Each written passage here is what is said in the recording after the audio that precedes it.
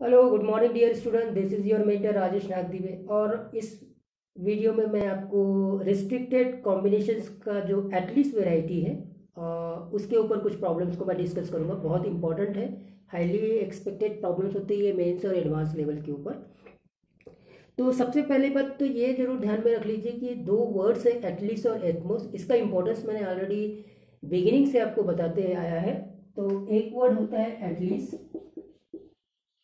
और दूसरा एटमोस्ट तो एटलीस्ट में मतलब ये हो गया कि आप इंटरेस्टेड है किसी चीज़ में, और एटमोस्ट का मतलब आप इंटरेस्टेड नहीं है, लेकिन आप मजबूरी बस कुछ आपकी एक लिमिटेशन है दो you are not interested but because of the certain limitations you can afford something मतलब इसमें क्या हो गया कि आप इंटरेस्टेड तो है ही नहीं, लेकिन आप क्या कर, जैसे एक एग्जांपल ले लिए कि आप आपके कार में four two five seat vacants है, लेकिन आप किसी को लिफ्ट देना नहीं चाहते because you are not at all interested लेकिन आप मजबूरी में किसी एक बंदे को अपनी गाड़ी में बिठा सकते कि कोई बंदा एकदम रास्ते में मजबूरी में खड़ा हुआ है, उसके पास में कोई भी साधन नहीं है तो आप ये सोच सकते हैं कि भाई चलो बिठा लो।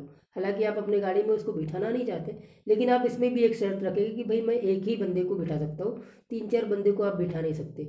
ठीक है? तो ये एटमोस्ट का मीनिंग और एटलीस्ट का मतलब इंटरेस्टेड है। मतलब इतने तो होना ही चाहिए तब आप वो काम करेंगे। अगर इससे ज़्यादा हो जाते हैं तो ये तो और आपके लिए सोने पे सुबह होगा, हो जाएगा। तो ये चीज़ ऑलरेडी मैं पहले से एक्सप्लेन करते आया हूँ एटलीस्ट और एटमोस्ट तो बस यहाँ पे जो रिस्ट्रिक्टेड कॉम्बिनेशन है, यहाँ पे भी आपको वही चीज़ को यूज़ करना है। तो यहाँ क्या दिया हुआ out of seven men and four ladies a committee of five to be form ठीक है सर सेवन मेन है और फोर लेडीज़ है और कमेटी में फाइव मेंबर सेलेक्ट होना है। तो देखो, अगर कोई कोई रिस्ट्रिक्शन नहीं है तो टोटल पर्सन आते हैं इलेवन और इलेवन में से हमको फाइव को सिलेक्ट करना है। तो इलेवन सी फाइव ये हो गए इलेवन सी फाइव एज में आप फाइव मेंबर्स की कमेटी सेलेक्ट कर सकते हैं। अब ये फाइव मेंबर्स की कमेटी में कोई रिस्ट्रिक्शन नहीं है। पाँचों के पाँचों मेंबर्स ये मेन हो सकते हैं या फिर फोर लेडीज़ हो सकती है, पूरे के पूरे और एक मेन हो सकता है। या टू प्लस थ्री का कॉम्बिनेशन या फोर प्लस वन का कॉम्बिनेशन फाइव प्लस ज़ीरो या zero plus five something like that ये जितने भी पॉसिबल कॉम्बिनेशन है, सब इसमें आ गए इलेवन सी फाइव में करेक्ट है? लेकिन अब मैं क्या कर रहा हूँ कि इसमें रेस्ट्रिक्शन इम्पोज कर रहा हूँ। रेस्ट्रिक्शन क्या इम्पोज कर रहा हूँ कि इस कमेटी में जो फाइव मेंबर्स है, उसमें कम से कम फाइव एटलीस्ट अब ये वर्ड्स को अंडरलाइन करिए एटलीस्ट एटलीस्ट थ्री लेडीज़ होना चाहिए। तो कम से कम तीन लेडीज़ होनी चाहिए फाइव मेंबर की कमेटी में। तो कौन कौन से पॉसिबल वेज होंगे? तो एक काम कर लेते हैं, यहाँ पे मेन बना लेते हैं। और यहाँ लेडी ठीक है, ये हो गया लेडीज़ और यहाँ टोटल नंबर ऑफ़ वेज कर लेते हैं। टोटल नंबर ऑफ़ वेज अब अब यहाँ देखेंगे कि टोटल मेन जो है वो कितने हैं? लेडीज़ कितने हैं? तो टोटल मेन तो सेवन है। लेडीज़ टोटल फोर है। अब मुझे कमेटी फॉर्म करना है। तो उस फाइव मेंबर की कमेटी में एटलीस्ट थ्री लेडीज़ होना चाहिए। तो रिस्ट्रिक्शंस आपका लेडीज़ के ऊपर है इस बार। तो आप लेडीज़ को क्या करें? सिलेक्ट कर लीजिए। तो मैं थ्री लेडीज़ यहाँ सेलेक्ट कर लिया। फाइव मेंबर्स की कमेटी है तो बोलिए मेन कितने होने चाहिए? दो होने चाहिए। या फिर एक तरीका ऐसा भी हो सकता है कि मैं ऑल फोर लेडीज़ को भी सिलेक्ट कर सकता हूँ बिकॉज़ एटलीस्ट थ्री लेडीज़ होना चाहिए। मतलब अगर सारे के सारे लेडीज़ हैं मेरी कमेटी में तो ये तो और अच्छी बात है बिकॉज़ एटलीस्ट का मीनिंग मैंने आपको अभी बता दिया कि वी आर इंटरेस्टेड करेक्ट है कि नहीं? तो इसका मतलब अगर तीन से भी ज़्यादा लेडीज़ है कमेटी में तो ये और अच्छी बात होगी। तो मैंने क्या कर लिया? ऑल फोर लेडीज़ को सिलेक्ट कर लिया।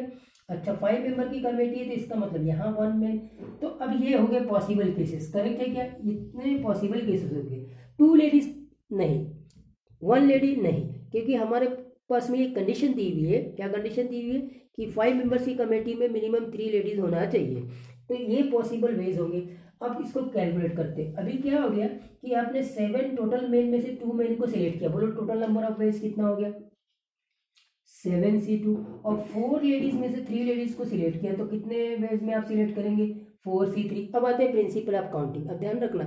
प्रिंसिपल ऑफ़ मल्टीप्लीकेशन जो रूल है काउंटिंग का और एडिशन रूल दोनों को हम कैसे यूज़ करते हैं? देखिए, आपका मेन वर्क है फाइव मेंबर्स की कमेटी को फॉर्म करना करेक्ट है? और इससे आपने क्या किया? दो मेंबर को सिलेक्ट किया है और इससे आपने तीन मेंबर को सिलेक्ट किया है।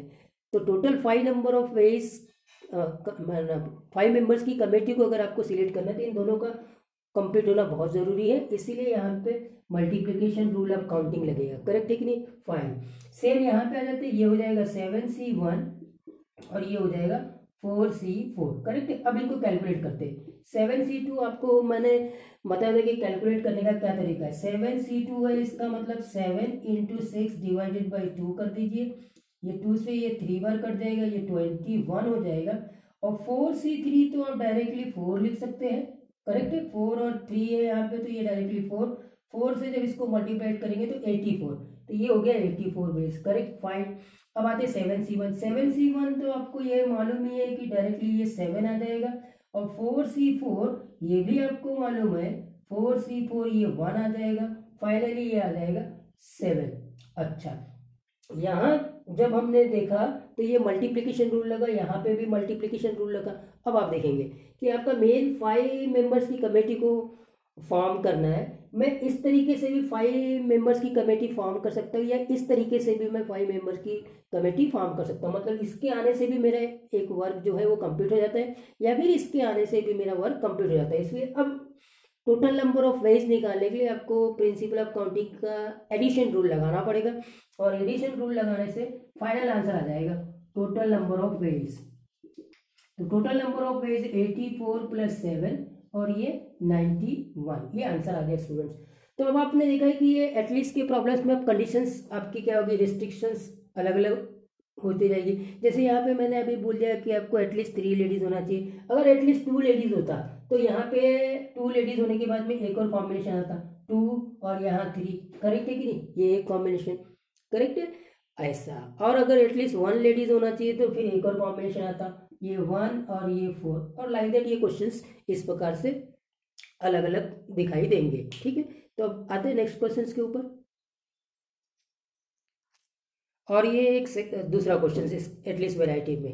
तो अभी जैसे लास्ट टू वीडियोस में आपने लास्ट के थ्री लेक्चर्स में आपने देखा होगा, सर्दी खांसी का कुछ प्रभाव था तो थोड़ा सा अफेक्ट कर रहा था साउंड में और प्रेजेंटेशन में। अभी ऑलमोस्ट ये ख़त्म होते आ रहा है।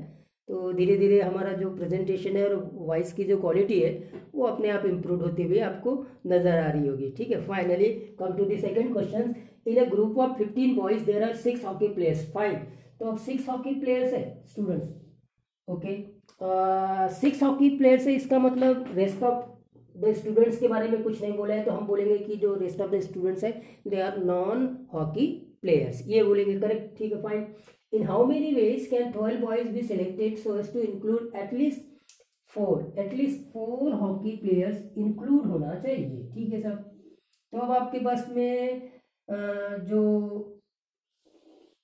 दो वैरायटी बनेगी, उसमें हम ये देखेंगे, क्या एक तो ये हॉकी प्लेयर्स ठीक है? ये हो गया हॉकी प्लेयर्स और दूसरा हम ये ले लेंगे नॉन हॉकी प्लेयर्स करेक्ट ठीक है? ये हो गई। तो अब हॉकी प्लेयर्स और नॉन हॉकी प्लेयर्स में आपको ट्वेल्व मेंबर्स को सिलेक्ट करना है और ट्वेल्व मेंबर्स में एटलीस्ट फोर तो हॉकी प्लेयर्स होना चाहिए। टोटल है फिफ्टीन तो देखिए हॉकी प्लेयर्स कितने हैं? हॉकी प्लेयर्स है सिक्स ओके तो इसका मतलब नॉन हॉकी प्लेयर्स कितने हो जाएँगे? इलेवन इलेवन नहीं नाइन ठीक है, ये हो गया नाइन नॉन हॉकी प्लेयर्स है और सिक्स हॉकी प्लेयर्स है फाइव तो अब यहाँ पे कंडीशन दी हुई कि एटलीस्ट फोर हॉकी प्लेयर्स तो होना चाहिए। तो ये फोर भी हो सकते हैं, ये फाइव भी हो सकते हैं और सिक्स भी हो सकते हैं। ये तीन केसेस बनेंगे। अकॉर्डिंग टू दैट क्योंकि ट्वेल्व बॉयज़ को सिलेक्ट करना है ऑलरेडी फोर हॉकी प्लेयर्स आ गए तो एट यहाँ से आएँगे। यहाँ पे कितना आ जाएगा? नाइन सॉरी सेवन ये सेवन हो जाएगा और यहाँ पे हो जाएगा सिक्स ये हो गए. इतने पॉसिबल केस है. अब इसके वेव्स को कर लेते हैं. Ways number of ways of selecting ठीक है? Number of ways of selecting आपको ये तो क्लियर ही हो गया. अभी मैंने प्रिंसिपल ऑफ़ काउंटिंग दोनों मल्टीप्लीकेशन और एडिशन रूल कैसे होता है सब बता दिया है.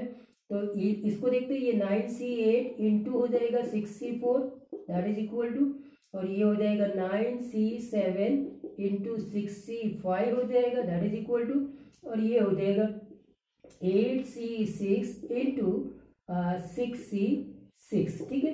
और इसका कैलकुलेशन एक बार ही बताता हूँ, इसके बाद के जितने भी कैलकुलेशन होंगे मैं नहीं बताऊँगा, कैसे किया जाता है आसानी से, ठीक है? फिर से एक बार आपको एक्सप्लेन कर देता हूँ कि how this calculation can be done easily okay nine C eight है नाइन सी एट मतलब ये तो हो जाएगा नाइन सी वन, यानी that is equal to nine directly आप इसको नाइन ले सकते और आते सिक्स सी फोर में। सिक्स सी फोर को कैलकुलेट करने का तरीका अच्छा होगा सिक्स सी टू करेक्ट है? सिक्स सी फोर किसके बराबर हो जाएगा? सिक्स सी टू के। सिक्स सी टू मतलब six into five divided by two ये कैलकुलेशन करने के तरीके स्टूडेंट्स आसान बनाने के लिए। Fifteen fifteen into nine one thirty five. तो ये आ गया वन थर्टी फाइव। करेक्ट है? तो इस वे में आप इसको कैलकुलेट कर सकते हैं और आसान बना सकते हैं। फाइन अच्छा दूसरे वाले को कैलकुलेट करते हैं। सेकेंड कैलकुलेशन फिर से मैं एक बार बता देता हूँ, इनको आसानी से कैसे किया जा सकता है। ये है nine C seven nine C seven को आप लिख सकते हैं नाइन सी टू करेक्ट है? नाइन सी टू को आप लिख सकते हैं nine into eight divided by two ये फोर से कट जाएगा और ये आ जाएगा थर्टी सिक्स अच्छा अब आते सिक्सटी फाइव अब आपको समझ में आ गया होगा सिक्सटी फाइव डायरेक्टली आप सिक्स लिख सकते हैं करेक्ट है कि नहीं? फाइन तो इसको मल्टीप्लाइड कर दीजिए। ये हो गया टू वन सिक्स तो ये हो गया टू वन सिक्स और वैसे ही आप इसको भी कैलकुलेट कर सकते हैं, अब आपको समझ में आ गया होगा कैलकुलेशन कैसे करते हैं? ये आएगा एट्टी फोर और फिर आप तीनों को ऐड कर देंगे प्रिंसिपल ऑफ़ काउंटिंग के एडिशन रूल से तो टोटल नंबर ऑफ़ वेज आ जाएगा और वो आ जाएगा फोर थर्टी फाइव ये आपका आंसर स्टूडेंट्स करेक्ट है? आई होप दैट आपको कैलकुलेशन कैसे करना है, आसान कैसे बनाना है, ये भी बात समझ में आ गई। और ये एटलीस्ट वाले वेराइटीज़ के क्वेश्चंस कैसे करना है, ये भी समझ और जो एटलीस्ट वाले वेराइटी का कॉन्सेप्ट आपने लगाया ना, वैसे ही एटमोस में आएगा। एटमोस में क्या आएगा कि मैक्सिमम मैं उतने नंबर तक के पर्सन को एक्सेप्ट कर सकता हूँ। उससे नीचे वाले एक्सेप्टेबल रहेंगे, उसके ऊपर वाले एक्सेप्टेबल नहीं होंगे। तो ये 2016 एडवांस का क्वेश्चन हम लोग इसको देखेंगे। तो आपको वो एटमोस का प्रॉब्लम मैं सॉल्व कर दूँगा। फाइन तो स्टूडेंट्स नेक्स्ट क्वेश्चन के ऊपर मूव करते हैं। और ये अब इस क्वेश्चन को देखिए। थोड़ा डिफरेंट वेराइटी का क्वेश्चन है। Five star marks are to be put into eleven square blocks written in the form of N E S shown in figure ये फिगर है जो अल्फ़ाबेट इंग्लिश का जो ई e है, उसको रिप्रेजेंट करता है। इस ई e में आप देखेंगे तो इलेवन स्क्वायर ब्लॉक्स है। One two three four five six seven eight nine ten eleven eleven square box में हमको ये स्टार मार्क्स को प्लेस करना है। अब रिस्ट्रिक्शंस क्या है? रिस्ट्रिक्शन ये है कि जो स्टार मार्क्स है, वो ऐसे प्लेस होना चाहिए so that every row has a cross हमको इलेवन बॉक्सेस में फाइव स्टार मार्क्स को पुट करना है with the restriction that every row has a star mark ठीक है? कम से कम एक स्टार मार्क तो हर रो में होना चाहिए। तो देखो, इस यहाँ रो कितने पहले वो देख लेते ठीक है सर रो कौन कौन से है? हाँ जी, इनको हम रो बोलते हैं। दिस इज़ रो वन ठीक है? This is row two okay five row three this is row four और ये रो फाइव ये इतने रोज है. Five rows are there number one number two number three number four and number five okay अब आप देखिए कि first रो में थ्री बॉक्सेस है. इसका क्या मतलब हो गया कि फ़र्स्ट रो में मैक्सिमम थ्री स्टार यहाँ आ सकते हैं. चलिए अगर मैंने फ़र्स्ट रो में थ्री स्टार डाल दिया, मैं नंबर ऑफ़ वेज की बात नहीं कर रहा हूँ. मैं रिस्ट्रिक्शंस की अभी बात कर रहा हूँ कि अगर मैंने three boxes of first row are filled by the three star marks तो तीन स्टार मार्क्स तो चले गए। अब आपके पास में टोटल फाइव है। टोटल फाइव स्टार मार्क्स है तो इसका मतलब एक यहाँ गया फोर एक यहाँ गया फाइव तो ये रो पूरा खाली हो जाएगा, ये रो खाली हो जाएगा। आपके पास में जो रिस्ट्रिक्शन है वो ये है so that every row has a cross मतलब हर एक रो में क्रॉस आना ही चाहिए। तो अब आपके पास में ये दिख रहा है कि फ़र्स्ट रो में तो मैं मैक्सिमम थ्री स्टार मार्क्स को पुट कर सकता हूँ। तो फिर अब क्या करें? हमको रिस्ट्रिक्शंस को देखना है। तो रिस्ट्रिक्शंस के अनुसार हर एक रो में एक क्रॉस आना चाहिए। आपके पास में फाइव रोज है और स्टार मार्क भी फाइव है। इसका मतलब हर एक रो में एक ही क्रॉस आएगा। करेक्ट है? ये बात क्लियर होगी रिस्ट्रिक्शंस की। अब एक एक क्रॉस को पुट करना, हर एक रो में इसके कितने नंबर ऑफ़ वेज होंगे, इसको चेकआउट करते ठीक है साहब? तो अब आगे की इसमें एक ही स्टार मार्क आएगा। तो ये स्टार मार्क यहाँ आ सकता है, ये यहाँ आ सकता है, ये यहाँ आ सकता है। मतलब आपको टोटल थ्री वेज में ये स्टार मार्क्स को यहाँ बैठा सकते हो। लेकिन इसको थोड़ा आपको एक एक एक फॉर्मल वे में ये सोचना है कि स्टार मार्क्स आपके पास में इन तीनों बॉक्सेस में किसी से भी आ सकते हैं। मतलब ये बॉक्स है। इन बॉक्स में से एक बॉक्स को सिलेक्ट करना है। How many box are there three boxes are there can i select uh, one box out of these three box in how many ways? आपको तीन वेज में आप इसको सिलेक्ट कर सकते हैं।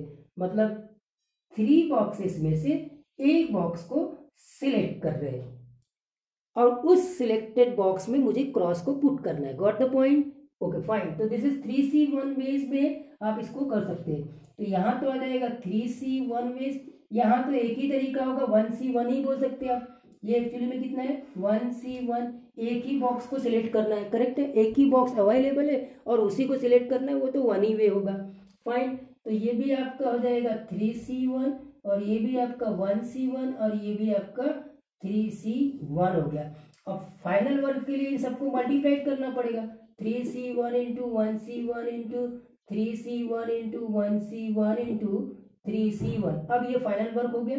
डेफिनेटली ये थ्री होगा ये वन होगा ये थ्री होगा ये वन होगा ये थ्री होगा और total number of face twenty seven होगा। तो स्टूडेंट्स अब इसकी प्रैक्टिस के लिए मैं एक और क्वेश्चन कराता हूँ इसी वेराइटीज में सो so दैट आप पूरी तरह से इसको अंडरस्टैंड कर लेंगे। चलिए अब उसी वेराइटी में इस क्वेश्चन को देखते हैं। इस क्वेश्चन में क्या दिया हुआ है? Six cross have to be placed in the square of the figure given below ये फिगर है, इसमें सिक्स क्रॉस को प्लेस करना है। ठीक है? अब प्लेस करने के लिए कुछ रेस्ट्रिक्शन दिया हुआ है। Given below such that each row each row contains at least one at least one cross ठीक है साहब? In how many different ways can this be done देखो फिर, जब जैसे प्रॉब्लम की, पहले तो रो देख लो कितने। This is row one this is row two and आपको this is row three correct है? अच्छा अब क्या होगा कि यहाँ पे रो वन में दो बॉक्स है, इसमें फोर बॉक्स है और इसमें दो बॉक्स है, आपके पास में सिक्स क्रॉस है। तो अब यहाँ पे आपको किस वे में आप रो वन रो टू और रो थ्री को फिलअप करेंगे? करेक्ट है? और उसके बाद में फिर आपके नंबर ऑफ़ वेज आ जाएँगे। यहाँ मैं लिख देता हूँ number of ways correct five तो स्टूडेंट्स अब यहाँ पे मैक्सिमम टू क्रॉस आ सकते हैं। तो अगर इसमें या तो वन क्रॉस डालूँगा या फिर टू क्रॉस दे लूँगा तो ये तो ये वन का केस बनेगा और दूसरा टू का केस बनेगा। करेक्ट है कि नहीं? तो अब वन के केसेस में लेते जैसे मैंने यहाँ वन ले लिया तो यहाँ तो मैक्सिमम फोर आ जाते चलो यहाँ फोर ले लिया। तो वन और फोर फाइव हो गया और यहाँ पे वन डाल दिया। तो ये हो गए सिक्स तो मैंने ऑल सिक्स क्रॉस को प्लेस्ड कर दिया। करेक्ट ये तो ये केस ओके है। कोई इशू नहीं है। क्योंकि रेस्ट्रिक्शन क्या बोलता है? Each row contains at least one cross कोई इशू नहीं है। और क्या पॉसिबिलिटी हो सकती है कि यहाँ वन डाल दिया, यहाँ थ्री डाल दिया और यहाँ टू डाल दिया? क्योंकि यहाँ पे मैक्सिमम टू आ सकते हैं। करेक्ट है, ये भी एक केस बनता है। कोई इशू नहीं है। अगर ऐसा केस बनाऊ वन ये टू ये थ्री तो ये सिक्स तो होते हैं, लेकिन ये थ्री यहाँ नहीं आ सकता, क्योंकि यहाँ तो मैक्सिमम टू ही आ सकते हैं। थर्ड रो में टू ही आ सकते, थ्री नहीं आ सकते तो ये केस नहीं होगा। गॉट द पॉइंट तो वन से जितने भी पॉसिबल केसेस होते थे, वो आपने बना लिए। चलिए अब टू से आते इसको टू फिलअप कर दिया मैंने। इसको टू दे दिया, इसको भी टू दे दिया, और इसको भी टू दे दिया। तो ये सिक्स हो गए कोई इशू नहीं है। एक और केस बन सकता है। इसको टू दिया, इसको थ्री दिया, और इसको वन दे दिया। करेक्ट है? अब अगर इसको टू देता हूँ और इसको फोर देता हूँ तो ये ज़ीरो हो जाएगा, जो कि हमारा कहता है कि ईच रो पे कम से कम एक स्टार मार्क तो होना ही चाहिए तो ये केस नहीं होगा? तो अब आप देखेंगे कि आपके पास में ये फोर वेज के अलावा कोई दूसरा फाइव फिफ्थ वे नहीं है। करेक्ट है? हो गया स्टूडेंट्स अब आपका काम खत्म। और आपको अब ये मालूम है कि ये वन बॉक्स को वन स्टार मार्क से फिल करना या क्रॉस से फिल करना, इसका क्या मीनिंग है? इसका ये मीनिंग हो गया कि दो बॉक्स में से एक बॉक्स को सिलेक्ट करना है, जिसमें कि मुझे वो क्रॉस को पुट करना है। दो में से एक को सिलेक्ट करना है, इसका मतलब ये टू सी वन होगा।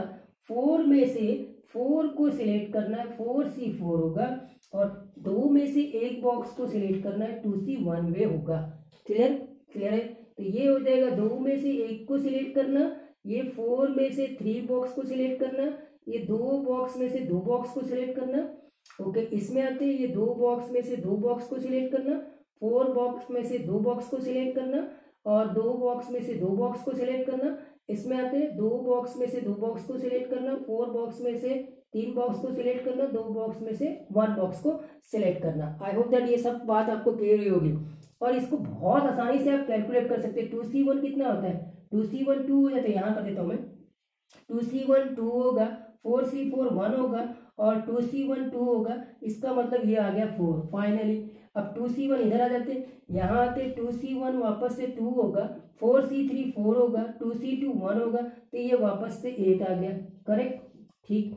अब यहाँ आते नेक्स्ट में टू सी टू वन होगा correct two C two one हो गया four C two four C two मतलब four into three divided by two मतलब सिक्स करेक्ट तो ये तो हो गया six into four C two के बाद टू सी टू वापस से वन हो गया तो ये हो गया सिक्स करेक्ट और लास्ट में आते हैं two C two two C two one हो गया, फोर सी थ्री फोर हो गया, टू सी वन टू हो गया तो ये आ गया एट तो स्टूडेंट्स अब आप कैलकुलेट कर लीजिए, ये एट एट कितना हो गया? सिक्सटीन सिक्सटीन और ये फोर हो गया ट्वेंटी ट्वेंटी सिक्स तो टोटल नंबर ऑफ़ वेज आ गया ट्वेंटी सिक्स ये हमारा answer correct total number of ways twenty six I hope that ये क्वेश्चन आपको समझ में आया होगा।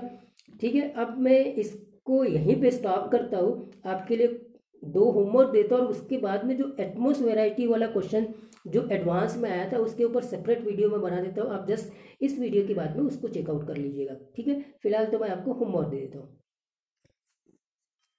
तो स्टूडेंट्स ये दो होमवर्क नोट कर लीजिए। A person has twelve friends ठीक है? Of home eight are eight are relatives ठीक है? एट रिलेटिव्स है और इसका मतलब फोर जो है वो सिंपली फ्रेंड्स है मतलब नॉन रिलेटिव्स है correct fine in how many ways can he invite seven friends such that at least five of them at least five of them may be relatives देखिए seven को आपको invite करना है, जिसमें से कम से कम फाइव तो रिलेटिव होना चाहिए।